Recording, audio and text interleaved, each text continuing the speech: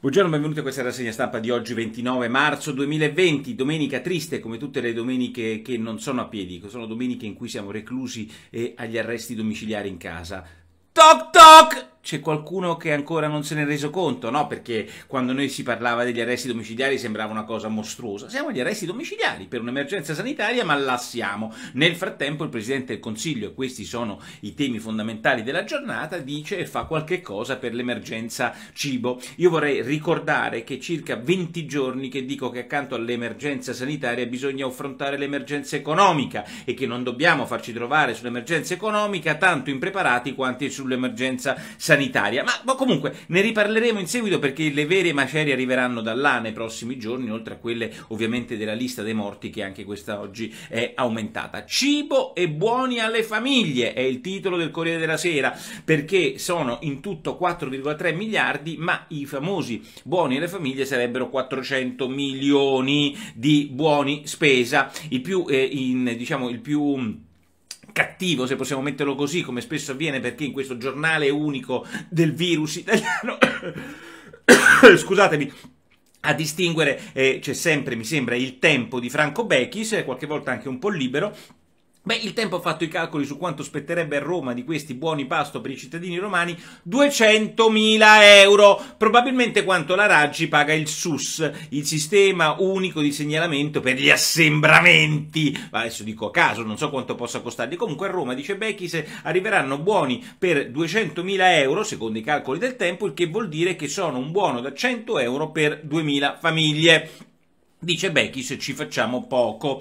Mentre eh, eh, diciamo c'è una critica di questo tipo da parte del tempo, il giornale è unico e tutto contento di questi soldi che arrivano. Devo dire che anche 100 euro sono meglio di zero. Ovviamente bisogna capire se servono a qualche cosa eh, e per quanto tempo questi soldi li danno. Ma il giornale unico del virus oggi che cosa ci fa? Pagina 3 3 di Repubblica. Nel frattempo, mentre abbiamo fatto una manovra da 25 miliardi, una manovra da 50 miliardi e nelle tasche degli italiani è arrivato zero e da lunedì, da, da, dalla, dalla, prossima settimana vedremo e tra poco ne parleremo quanto arriverà nelle tasse che, degli autonomi, la cosa straordinaria è che Repubblica lancia la palla ancora più avanti, cioè la velina di Casalino che è un genio totale che riesce a convincere tutti quanti i giornali ehm, della bontà di questa procedura, beh, insomma, che cosa dice? Sta arrivando il reddito di emergenza, quindi eh, bisogna allar- saranno allargati 600 euro e saranno messi quanto? Tra i 6 e i 10 miliardi di euro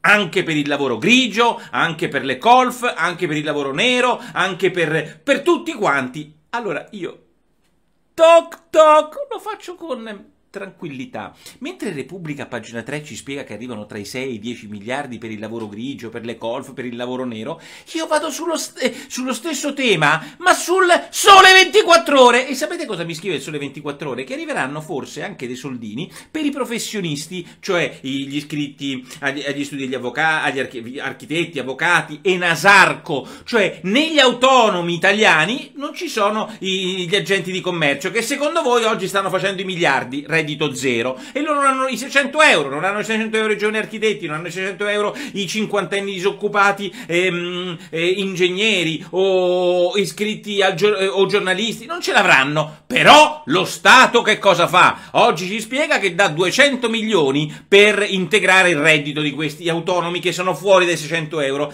E lì non Bechis ma anche il tempo ha fatto i calcoli, sapete quanti assegni sono? 330.000 assegni, cioè se tu sei iscritto a un ordine e o sei un agente di commercio, Beh, insomma, il numero massimo degli aiuti ai 600 euro saranno per 330.000 persone, mentre Repubblica ci racconta questo mirabolante reddito di emergenza, l'unica cosa scritta e peraltro che non è arrivata, ci calcola il sole 24 ore, arriverà a 330.000 ehm, eh, autonomi iscritti alle casse professionali. Vi segnalo che soltanto gli agenti di commercio sono 250.000, arriveranno 300.000 assegni, 250.000 che oggi sono a reddito zero perché il commercio oggi non c'è, è una cosa che mi fa impazzire impazzire perché tra l'altro sono le procedure, sono le procedure! Perché ve le devo raccontare oggi sul Sole 24 Ore, ci hanno spiegato che questi, questa mancia da 600 euro per i professionisti arriverà soltanto fino a coloro che hanno 50.000 euro di reddito. Ci sta, diciamo i più ricchi per ora non glielo danno, come se ricco fosse uno che ha 60.000 euro e una famiglia da mantenere. Ma comunque hanno fatto una scelta fino a 50.000 euro,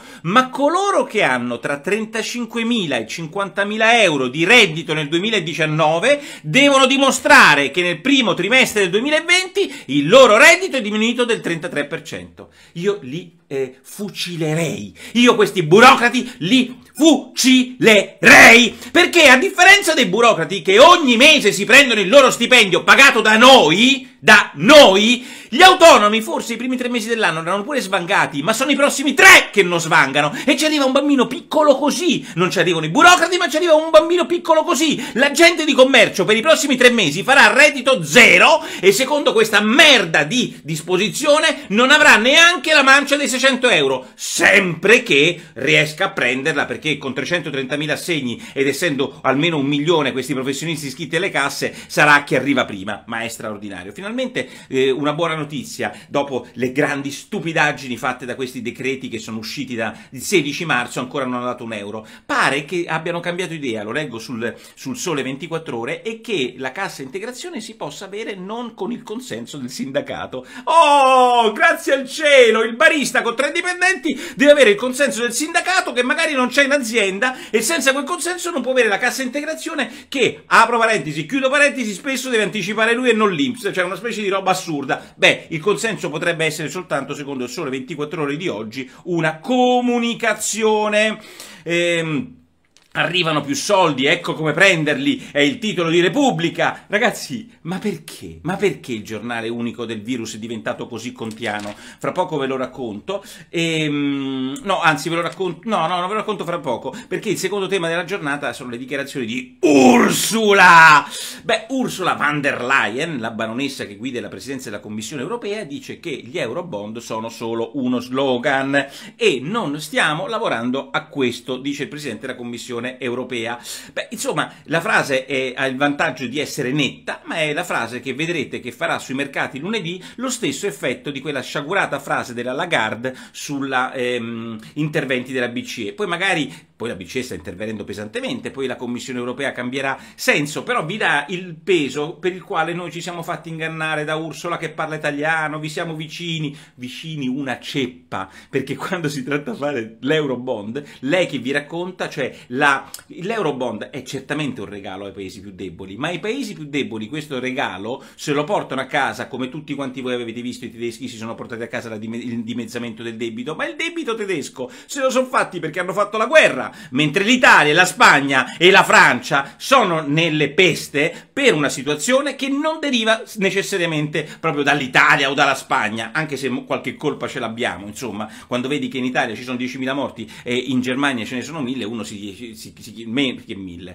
poche, meno, poche centinaia, uno qualche dubbio se lo fa. Ma rimaniamo a Ursula, questa signora, come dice giustamente oggi Galluzzo, che in realtà dovrebbe fare la cronaca, ma gli sfugge anche un'opinione nel suo pezzo del Corriere della Sera, beh, non sembra molto super partes come dovrebbe essere di una Commissione Europea se dice che è solo uno slogan l'Eurobond. Tra l'altro, Prodi, ex Presidente della Commissione Europea, soltanto due giorni fa sul, Core- sul, sul Messaggero diceva che erano necessari, quindi insomma il dibattito se non altro c'è, c'è una leggera smentita poi in, in serata della Commissione che dice non è esclusa alcuna soluzione, ma eh, mm, cioè parliamoci chiaro, guardiamoci tutti negli occhi, sappiamo benissimo che cosa sta avvenendo. E Gentiloni, fantastico. Oggi ci sono due cose che vi segnalo su questo, perché e mentre Ursula, tra altre cose, dice che le riserve della Germania sono giustificate, cioè la Presidente della Commissione europea dice che le riserve di un paese di cui lei è stata Ministro della Difesa sono giustificate, arriva il Conte Gentilone, che è nella stessa eh, circolo della caccia della baronessa Ursula von der Leyen, e che cosa dice?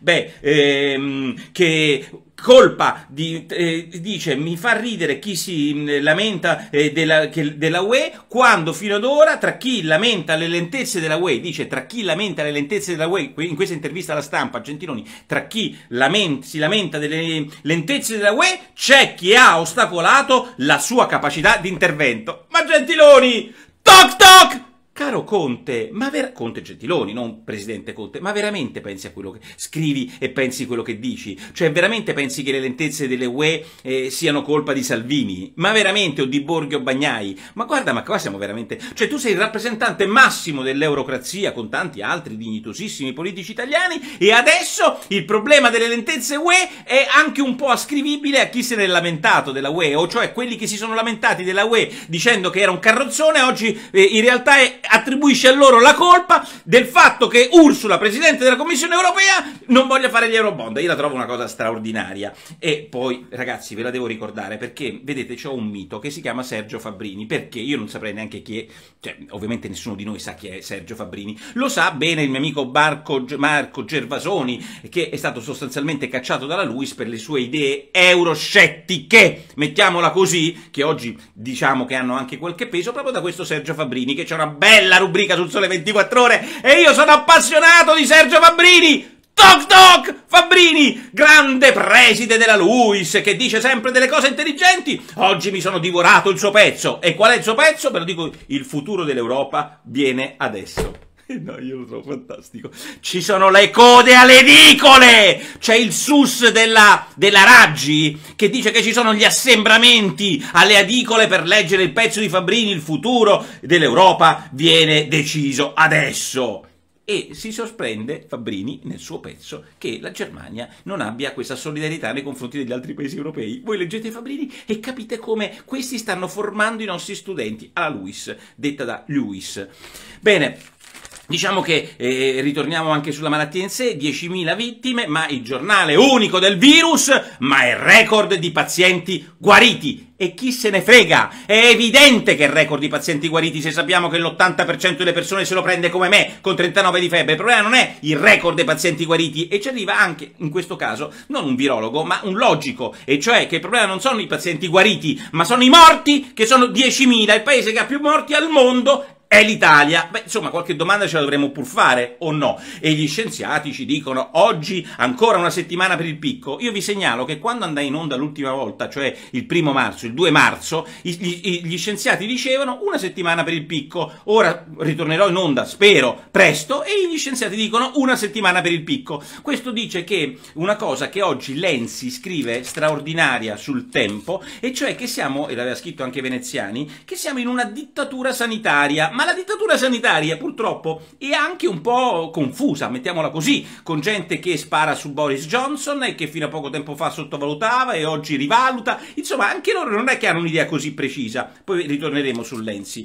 L'altra cosa fantastica è che Borrelli dice le nostre misure sono un modello, il capo della protezione civile dice che le nostre misure sono un modello, se voi ci credete, mm, perfetto. Vedo questi, per esempio una delle nostre misure è questa unica al mondo, rassegna stampa, conferenza stampa fatta alle 18 2018 in cui si fa Memento Mori con Borrelli che ci racconta le loro cose.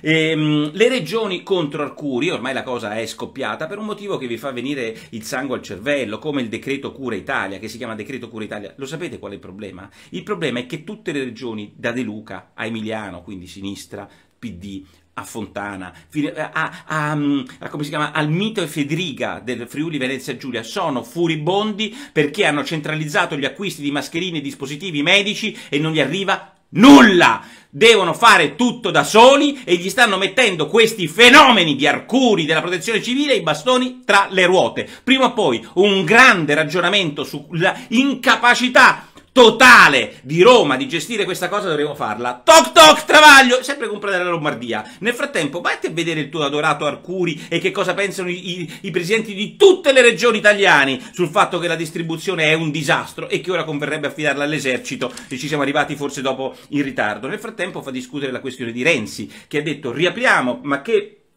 e, e, mm, e, riapriamo prima o poi questo paese, cosa che io condivido al 100%. Sapete chi gli risponde? Rezza, cioè all'Istituto Superiore della Sanità rispondono, cioè la dittatura dei medici. E che cosa dicono? Ma che, ma che, ma che riaprire? Toglietevi quella parola dalla testa per un po'. Oh! Tu sei un medico, cioè da una parte i medici, da una parte gli economisti, dall'altra parte i, fis- mm, eh, i, fisioterapisti e poi i politici. Questa è la democrazia, sono i politici che decidono, non è Rezza che decide, non è neanche Renzi che ha il 2%, ma lui fa politica, mentre tu sei un medico e continua a fare il medico, se lo sai fare, come sono sicuro che lo sa fare benissimo Rezza. Però la politica possono farla male, la fanno male obiettivamente, ma ha un altro ruolo, quindi toglietevi dalla testa, non lo può dire né lui né quell'incredibile intervista oggi al prefetto di Milano, prefetto di Milano, che dice la seguente cosa. Saremo severi nei controlli, perché oggi il problema qual è? È quello dei vecchietti che vanno due volte a fare la spesa. Ragazzi, ma noi siamo in prigione, caro prefetto, noi siamo in prigione, lei ha 63 anni, se lei avesse 75 anni e eh, un po' di vita davanti a sé, 80 anni, un po' di vita davanti a sé, ma lei veramente capisce quello che sta dicendo? Ma lei veramente si rende conto che lei sta nel suo ufficio, che lavora, si è attivo e fa tante cose, ma la gente è agli arresti domiciliari tutta l'Italia io sarò un marziano, ma se questi non capiscono che c'è un'Italia che ha gli arresti domiciliari e che fra dieci giorni non solo per il pane, ma uscirà perché non ce la fa più, voi non avete proprio idea di che cosa sta succedendo, carissimo, illustrissimo prefetto, il quale dice andiamo a fare controlli alle aziende perché non rispettano il, il, la chiusura totale. Nel frattempo io leggo oggi in Lombardia, troppi chiedono le esenzioni perché vogliono lavorare. Abbiamo chiuso le aziende con i codici Ateco e giustamente il presidente della Lombarda Bonometti dice beh i codici Ateco rispondono a criteri del, del, secolo scorso. Oggi le filiere sono molto più complicate, ma i sindacati, cioè la CGL, vuole chiudere tutte le imprese, chiuso tutto. Chi paga i soldi? Chi paga le casse integrazioni, posto che l'Inps non le paga? Chi paga il prefetto? Chi paga Arezza dell'Istituto Superiore della Sanità? Quanto duriamo?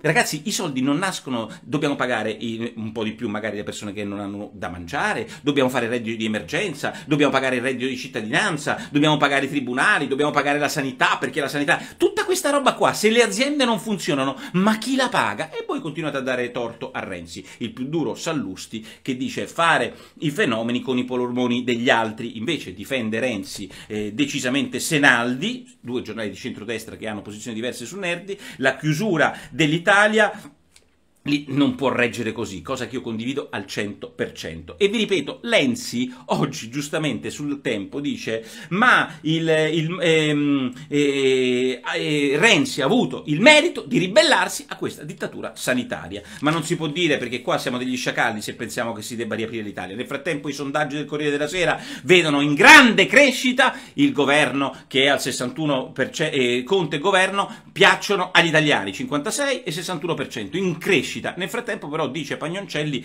non avviene sui partiti perché la Lega resta al primo partito al 31% e Fratelli d'Italia al 13%, e il PD al 20% e il Movimento 5 Stelle resta al 15%. Bisignani oggi stampa, eh, sul, sul tempo ve lo, consegno, ve lo consiglio, ci dice che Conte sta preparando il suo partito e il suo partito nasce dalla Repubblica, dal Corriere, da Casalino, da Casaleggio, cioè c'è un'idea della stampa abbastanza uniformata, bastava leggere ieri i Galli della Loggia e quindi è pronto pronto a fare il passo, mentre il governo Draghi spiega un grillino doc spada fora è un bluff e poi per fortuna che Salvini non è al governo e non ha gestito questa crisi, dice il vecchio alleato di Salvini, io lo trovo fantastico, quella crisi va affrontata eh, dalla mia generazione e non da Draghi, cioè questa crisi, dice Spadafora, va affrontata dalla sua generazione e non da quella da Gradi, una preghiera che dovremo comunque tutti quanti fare. Comunque io vi dico, andatevele a vedere le mie vecchie zuppe, queste zuppe eccetera, ragazzi,